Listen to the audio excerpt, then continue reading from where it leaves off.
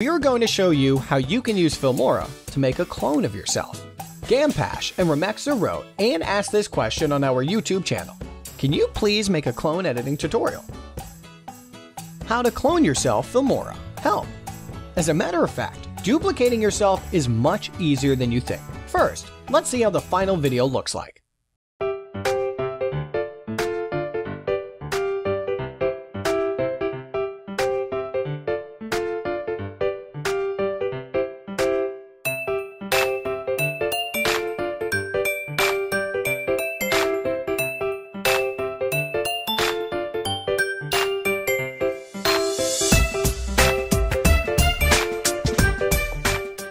By using Filmora, you can easily make a twin or even triplets effects within minutes. All you need is a camera, whether that be a DSLR, point and shoot, or even your smartphone, tripod, computer, and Filmora. Now follow our step-by-step -step guide to make one on your own. To get started, find a stationary background and make sure there aren't any moving objects in the scene. Next, set up your tripod and attach your camera to it do make sure that your camera is located in the same place when capturing all those video clips. Now, let the actor perform on three different locations and record each scene with a separate clip.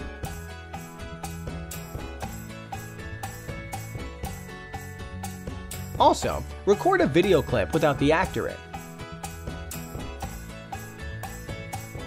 Now that you've got your raw footages, it's time to import all the raw footages to Filmora Video Editor for editing.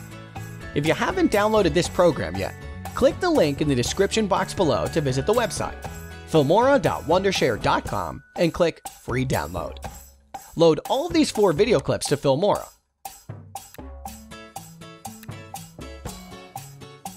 And then drag the clip in which the actor is located in the middle place to the video track on the timeline below. Cut any unwanted parts if necessary. Drag the second clip to the PIP track click on the Advanced Edit icon here to enter the Edit panel. In the PIP mask library, scroll down to the very bottom, select a mask effect, double-click on it to apply. By doing this, we will block the right side of the second video so that the right side of your first video can show through. Adjust the width, height, etc. of the mask effect to accurately locate the part that you want to block. Next, drag the third clip to the PIP track. Likewise, go to the Advanced Edit panel and apply a mask effect to it.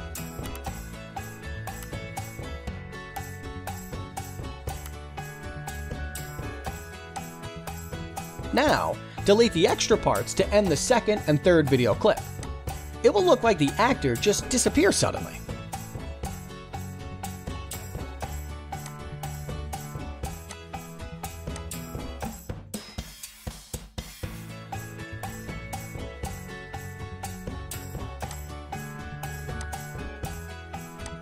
Lastly, drag the fourth video clip to the end of the video track. That's it. This is the simple way you can follow to clone yourself in videos. We will upload another advanced clone editing tutorial, which shows you how the clones can move around freely in the video. Click the link in the description box below to visit filmora.wondershare.com and download a free trial version to get started now.